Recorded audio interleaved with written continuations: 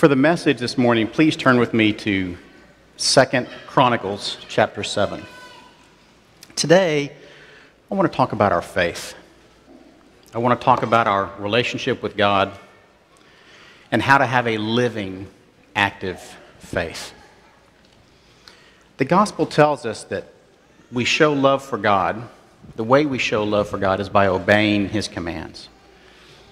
And I think you'll agree that the New Testament is full of commands associated with living a spirit filled life of faith, evangelizing, and trying to be letters of love from Christ to those that are in our lives, to those that are around us. It commands us to be defenders of the faith and to put on the full armor of God and the sword of the Spirit. Ephesians chapter 4 urges us to live a life worthy of the calling that we have received. What I propose to you is that we can only accomplish these things if we have a living, active faith. Not a faith that shows up for a couple of hours on Sunday morning, but a faith that is outwardly evident, that's consistent, a faith that's robust, and a faith that compels us, a faith that compels our thoughts, our words, and our deeds. Now, if any of that is new information to you, let's please talk after the service. I think a journey through Romans, Ephesians, and James, just as a start, will reinforce the need for us to have an active faith, and, and that scripture can demonstrate that to you. So, if we accept that our faith is supposed to be alive, how do we do that? It just so happens we have an instruction guide. It just so happens there's a recipe for it. In fact, the Bible's pretty clear with its information on what a living faith means. And that's what I want to talk to you about in today's message. First, just a little bit of background. So, a month or so ago, during the Sunday evening message, um, I talked about the what, the why, and the how of prayer. And one of the passages that we talked about really stuck with me. And it was the first thing I thought about when Butch asked if I could be available for the message this morning. The passage I'm talking about is 2 Chronicles chapter 7, 13 to 14. I'll read that for you now. When I shut up the heavens so that there is no rain, or command the locusts to devour the land, or send a plague among my people, if my people who are called by my name will humble themselves and pray and seek my face and turn from their wicked ways, then I will hear from heaven. I will forgive their sin and will heal their land. You know, some of us read the Bible as poetry, and that's where they find the beauty of God's Word. Some of us read it as history or chronology or literature and see the timelessness of its content and the consistency of its theme of God's faithfulness. Well, I have the unfortunate task of being an engineer. Beauty's for wimps. Let's talk about structure and design. That's how I see it. I see it more of a textbook or a blueprint. And I know that sounds terribly boring, but it's actually quite the opposite. Because when you see the structure in God's Word, when you see the consistent design, and you see the conscious intent with which it was written, the conscious intent, that's where I find the wonder and the miracle of God's Word. And today's scripture is no exception. So I'm always drawn to that structure. I'm always fascinated and I'm thankful when I see it. Also, when I see the timeless applications of Scripture in our modern world, in our modern lives, it's almost like God knew what He was doing. It's almost like He knew something about us humans that He created. It's almost like He purposely inspired the men to write it in just such a fashion. And it's almost like He knew that throughout time, we could rely on His Word. It's almost like he knew we would have most of the same problems today that the human race has always had. The same problems throughout the ages. And it's almost like he knew that we would need a spiritual anchor through which to weather all of these storms.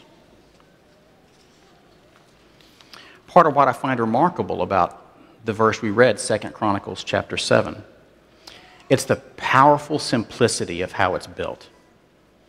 The powerful simplicity of its content. And that's why I want us to take a journey and explore that a little bit further. So, at the simplest level, you can break it down this way. If God's people will do three things, then God will do three things. So there's symmetry, there's balance. So, what are those things? Well, if God's people will be humble, if they'll pray and seek Him, and if they'll turn to Him, then God says He will hear us, He will forgive us, and He will heal us. I don't know about you, but I want those things in my life. I, for one, want to make sure that God hears me, that He forgives me, that He heals and blesses me. I want God, the creator of all things, the giver of eternal life, to do those things for me. And in this scripture, it's important to note healing, it has the obvious medical connotation. But there's a literal connotation also of stitching together and bringing things together to be whole. That's what he means by healing. I don't just want that for me. I want that for America. I want it for our community. Don't you think we should turn more towards God? Don't you think we need some healing? Don't you think we need some forgiving? But you might challenge me and say, look, this verse it's a really specific context. It's talking about the dedication of the temple, and it's a nighttime response. It's a private response to Solomon from public prayer, and you know, you're just you're taking it too far. You might challenge and say, look, that was kind of under the old covenant, and we're under a new covenant. And in those aspects, I would agree with you. I would also encourage you to see a broader picture. Consider 2 Timothy chapter 3 verses 14 to 17. But as for you, continue in what you have learned and have become convinced of, because you know those from whom you learned it, and how from infancy you have known the Holy Scriptures, which are able to make you wise for salvation through Christ Jesus. All Scripture, all Scripture is God breathed and is useful for teaching, rebuking, correcting, and training in righteousness, so that the servant of God may be thoroughly equipped for every good work. Well, I propose to you that Second Chronicles chapter 7 is part of all Scripture, and I propose that it is instructive for us. My point to you this morning is that having a living faith is what makes us God's servants, and it is what equips us for every good work. We know that we serve an eternal God. We know that God is unchanging, a faithful God. And what I put to you is that this prayerful response to Solomon, Second Chronicles, the command, the promise, in addition to answering Solomon's prayer, it's directly applicable to us today. So we're going to dissect that in just a minute. And let me, let me level set with a little bit of context. So, this passage that, that we read, it's part of God's response to, to Solomon's prayer. And that prayer was to dedicate the new temple. You can read all about that in Second Chronicles chapters 6 and 7. It's, if you're not familiar with it, it's a, great, it's a great piece of scripture. So the events and the dialogue, the prayers, everything in those two chapters, when you read it, think of it also as a microcosm for Christian living. It's prophecy, it's a commentary on the failings and the weakness of man, the wonder and the faithfulness of God. It's a commentary on why we need Christ. And it's a guidebook for Christian faithful living. So, the dedication ceremony and the prayer, you see that in chapter 6. And, you know, if you don't just happen to have that memorized, let me summarize it for you this way it was a big deal. The whole nation was there. They've been working for decades for this moment. It was a huge part of their history, a huge part of their culture. It was going to be the center of their religion, which should have been the center of their lives, of their entire culture. Speeches, prayers, and lots and lots of sacrifices. This went on for seven days. This wasn't like a Super Bowl halftime performance, you know, 10 minutes and you're done. This was seven full days of worship, prayer, repentance, and fellowship and sacrifice. In verses 12 through 17 of chapter 6, we see Solomon praising God's faithfulness in his covenant. We see Solomon asking God to continue to fulfill that covenant with specific respect to David's royal lineage as, as rulers of Israel. Remember, if they were faithful to God's covenant, God committed that they would always be king over Israel. But following those verses, Solomon says something really interesting in verses 18 and 19. But will God really dwell on earth with humans? He's dedicating this brand new temple. And this is part of his prayer. But will God really dwell on earth with humans? The heavens, even the highest heavens, cannot contain you. How much less this temple I have built? Yet, Lord my God, give attention to your servant's prayer and his plea for mercy. Hear the cry and the prayer that your servant is praying in your presence.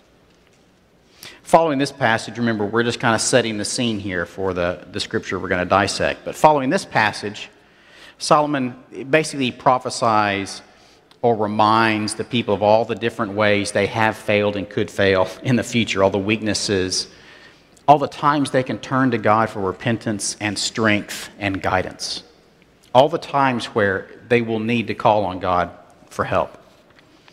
He reminds the people of the covenant and God's faithfulness as long as they repent and seek Him.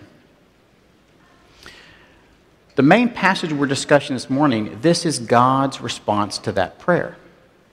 So, after seven days of this very public spectacle, seven days of dedication in this prayer, it's at nighttime, just God and Solomon, where God responds to that prayer. Let me read it for you again. When I shut up the heavens so there is no rain, or command locusts to devour the land, or send a plague among my people. Now, these were events, some of the specific events through which Solomon had prayed for God's help. So God's responding. He's saying, Yeah, when all this stuff happens, or if it happens, right? So God's setting the stage. God says, If my people who are called by my name will humble themselves and pray and seek my face and turn from their wicked ways, then I will hear from heaven, I will forgive their sin, and heal their land. The rest of chapter 7 is God reminding Solomon of his promise to David, Solomon's obligation and his lineage's obligation to stay faithful, and also a reminder of what God's people are required to do to keep the covenant. So the scenario on the surface is the dedication of the temple. You might be tempted to read that only as history. It might be easy to gloss over that. Right? We don't have a temple today. One of the brothers this morning commented on that. The temple is our body. We don't have a building as a temple that's the center of our faith and religion. It might be easy to dismiss that. But if you dig a little deeper, what you'll see is a refreshing of the covenant that God has with his people. You'll see a warning and a reminder of what happens if that covenant is broken and the benefits when God's people live faithfully. In verse 14, you know, God's responding to Solomon's request for forgiveness. He tells Solomon, Yes, I will forgive. Yes, I will heal. But y'all have to humble yourselves. You have to pray. You have to seek and you have to repent. He qualifies that the people who are his are my people who are called by my name. So it reminds us of the requirements for forgiveness and blessings under the old covenant. But what I would propose to you is that when we have the kind of Christ enabled relationship that we enjoy today through obedience to the gospel, when we have that kind of relationship with the Lord Almighty, He does hear us. When we ask, He does forgive us. When we ask, He can heal and bless us. And that's how we know we have a living faith. Basically, we're producing fruit. Consider John chapter 15, verse 16. You did not choose me, but I chose you and appointed you so that you might go and bear fruit, fruit that will last, and so that whatever you ask in my name, the Father will give you. So what we read in 2 Chronicles chapter 7 verse 14, it's a recipe for having a living faith. So let me, let me break that down for you over the next few minutes. Let's, let's test and see if this really is a recipe for living faith. So, what are the components? Well, first, we have to be named his people. We have to call on him by name. We have to have humility. We have to pray. We have to seek God. We have to be devoted. And we have to turn away from sin. So, that first element, being named his people, let's make sure we're crystal clear on what that is. If my people who are called by my name, the scripture says. So, under the covenant of the Old Testament, God's chosen people were the Hebrews. They were descendants of Abraham. After redeeming them from Israel, the Lord tells the Hebrews that the Lord your God has chosen you to be a people for his treasured possession out of all the peoples who are on the face of the earth. And note here that the Hebrew version of that word called, who are called by my name, means to cry out and proclaim. So it's a very active, active sense. In this passage, God was talking to Solomon about the nation of Israel. So that was pretty easy to identify who his people are. And there's an interesting tangent here, I won't go into it, but they weren't the only people that were God's people. Think about Rahab of Jericho in Joshua chapter 2. Think about Ruth. Think about Uriah the Hittite in 2 Samuel and Naaman in 2 Kings. They were people who were brought into the family of God. They were people who called God, who were called by his name. But what about today? What about right now? What about you? What about me? Don't we consider ourselves God's people? Okay, maybe, maybe my mic dropped. Don't we consider ourselves God's people? Okay, that's very low energy. Thank you for that. I get it. Sunday mornings are tough. We are God's people. God's people started with that group of believers, that body of Christ in Acts 2 on the day of Pentecost through the work of the Holy Spirit and will continue to grow until Jesus comes back. Consider Ephesians chapter 1, verses 22 and 23. God has put all things under the authority of Christ and has made him head over all things for the benefit of the church. And the church is his body. It is made full and complete by Christ who fills all things everywhere with himself. Consider also 1 Peter chapter 2, verses 4 and 5. As you come to him, a living stone, rejected by men, but in the sight of God chosen and precious, you yourselves, like living stones, are being built up as a spiritual house, to be a holy priesthood, to offer spiritual sacrifices acceptable to God through Jesus Christ we become God's people, called by his name, simply by exercising faith in Jesus Christ as our Lord and Savior and obeying the gospel through belief, confession, repentance, and baptism. That's it. That's how we cry out. That's how we proclaim ourselves as belonging to God. That's how we claim His name. The next element, humility. I'm sure that's as easy for you as it is for me, which it's not. I'm sure that's your favorite, just like it's mine, and it's not. How does humility relate to having a living faith? Why is this part of that recipe? Consider James 4, verse 10. Humble yourselves before the Lord, and he will lift you up. We have to remember that we don't deserve the grace that God has given us. We haven't earned it. We can't earn it. It's only by the grace of God and His love for us, which, quite frankly, to me is inexplicable. I think we're pretty hard to love, and somehow God has an infinite capacity to love us. Consider Philippians 2, verses 3 and 4. Do nothing out of selfish ambition or vain conceit. Rather, in humility, value others above yourselves not looking to your own interests, but to each of you to the interest of others. Why is humility difficult for some of us? If you don't think it's hard, if you don't have a problem with humility, I kind of hope you see the irony there.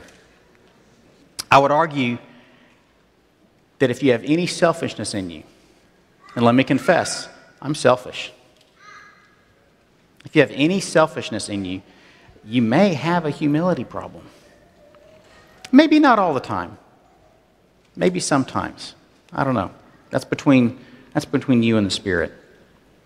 But the verse we read in Philippians addresses this very thing. In fact, Philippians chapter 2 is a great study on humility. We don't have time to go into all of it this morning, but let me just encourage you today. It's not, it's not a long chapter read through it and test yourself. Have a long talk with God about humility in your life. If you need any guidance on the role of that in Christian life, that's where I would, I would point you. You know, if our sole focus is on the needs of others, then selfishness, it's taken completely out of the picture. Pride goes away with it. And don't forget, who's the ultimate role model of humility?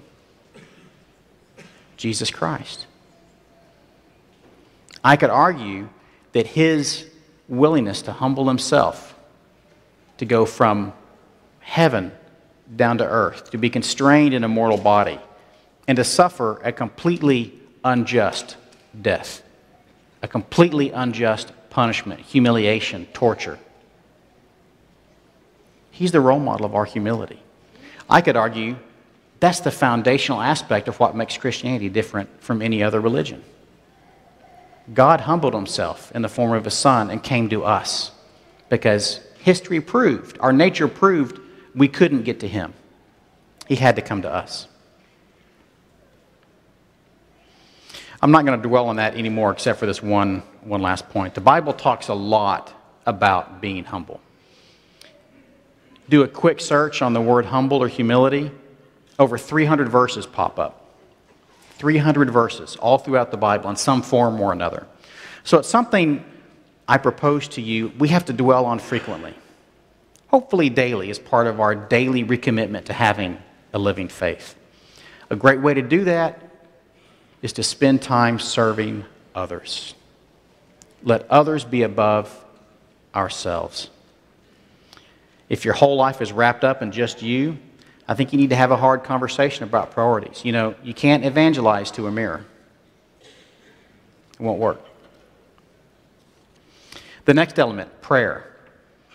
God tells Solomon, hey, look, part of this deal is y'all got to pray. Too many verses in the New Testament to mention, too many verses in the Bible to talk about the purpose and the power of prayer.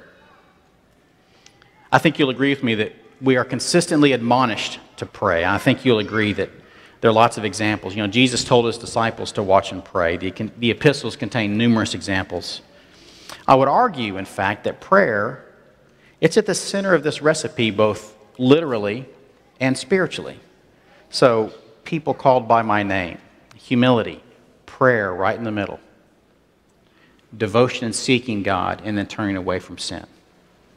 I could argue that's actually the pivot point of the entire, the entire recipe here. It's the hub around which those other aspects revolve.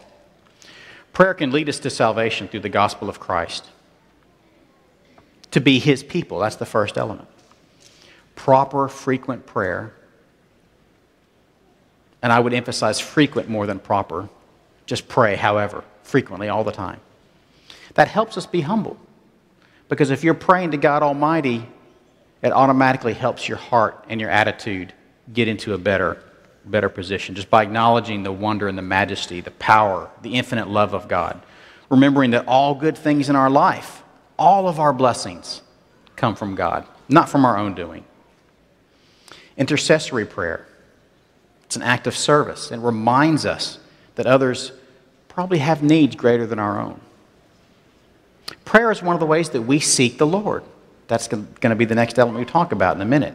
It's one of the ways we show our devotion. And it's the vehicle of repentance. God, forgive my sin. God, forgive me for this. God, strengthen me to resist this temptation. We could spend a year talking more about this. I'll, I'll wrap up this aspect with just a few points. You know, God not only listens to us through prayer, He wants to hear from us. Our prayer to God is not something He's busy doing and listens to with half an ear. It's not something He just tolerates and puts up with. He's waiting for us. He wants us to pray to Him. He wants us to pray to Him. Look in Jeremiah chapter 29, 10 to 15. It's one of just numerous examples of where God expresses his desire. He wants to hear our prayer. And in fact, even more than that, God wants to give us the desires of a spirit filled heart. I'll quickly read Psalm 145, verses 17 to 20. The Lord is righteous in all his ways and faithful in all he does. The Lord is near to all who call on him to all who call on him in truth. He fulfills the desires of those who fear him. He hears their cry and he saves them. The Lord watches over all who love him, but all the wicked he will destroy. And you know, prayer can have mighty results. Prayer can be so, so powerful. Matthew 21, verses 21 to 22. Jesus replied, Truly I tell you, if you have faith and do not doubt, not only can you do what was done to the fig tree, but also you can say to this mountain, Go throw yourself into the sea, and it will be done. If you believe, you will receive whatever you ask for in prayer. I can't think of a better ally in my life than Christ, my Savior, and God Almighty, the Creator. Prayer is how we talk to God. It has to be part of our daily living active faith.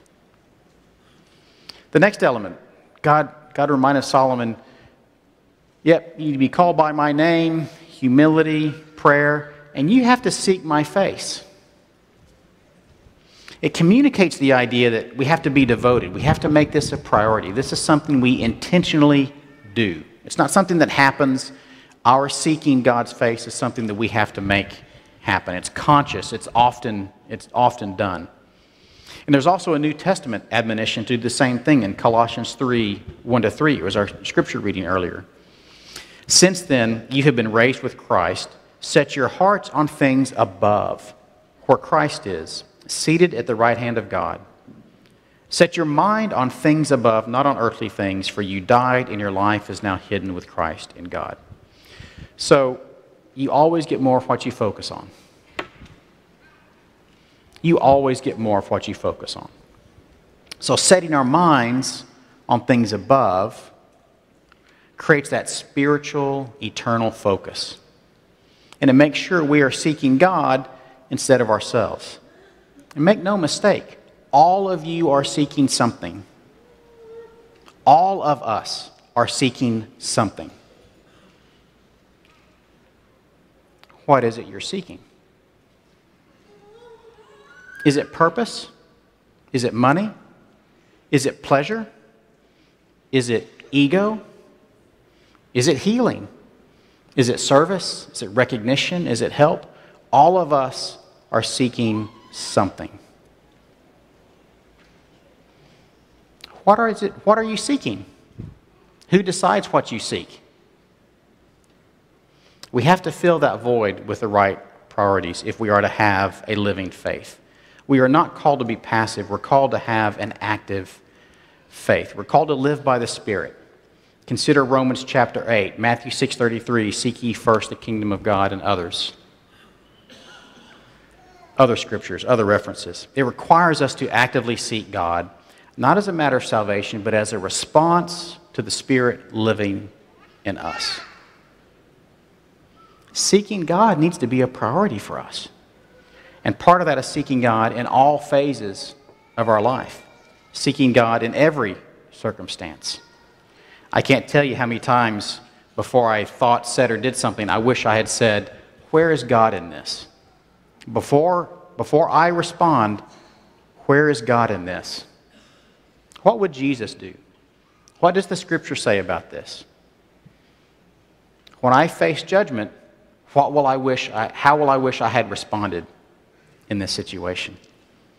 Seeking God as we strive for righteousness, seeking God to know His will in our lives, seeking God's wisdom, His forgiveness, His blessings, etc. We seek God through how?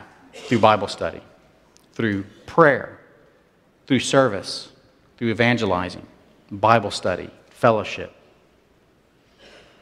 So decide what kind of person you want to be whether you're young, whether you're more advanced in years. What kind of person do you want to be starting today? Well, whatever kind of person you are is what you have been seeking. The person you want to be is what you should be seeking. If we're not seeking God, then what are we seeking? What are we not doing if we're not seeking God? Sorry, if we're seeking God, what are we not doing? What does seeking God help remove from our lives? Thinking of ourselves, rationalizing our desires, justifying our sin, being placated in our weakness, the list goes on. Actively seeking God as a prayerful, living faith enables us to find His will in our lives. And isn't that our ultimate purpose? To find His will in our lives and act on it through the strength He gives us?